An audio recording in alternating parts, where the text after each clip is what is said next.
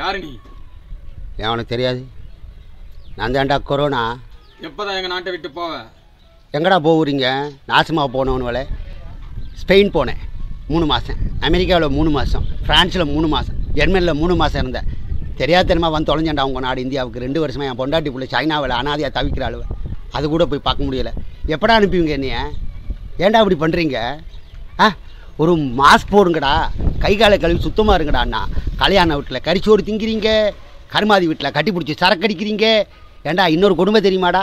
போன வருஷம் கொரோனாவில் சமூக இடைவெளி சமூக இடைவெளின்னு சொன்னாங்க.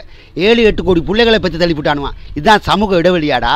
நீங்கள் என்னைக்கு ஒழுக்கமாக சுத்தமாக அரசாங்கம் சொல்கிறத கேட்குறீங்களோ என்னைக்கு இந்த போலீஸ்காரங்க இந்த சுகாதார பணியாளர் சொல்கிறத கேட்குறீங்களோ அதன்படி நடந்துக்கிட்டா மட்டும்தாண்டா நான் போவேன். இல்லைன்னு வையே. எல்லாரும் அடித்து தும்சம் பண்ணி தூக்கி நாட்டே காலி பண்ணிடுவேன். நீ வாழ்கிறது சாகிறதும் கையில்.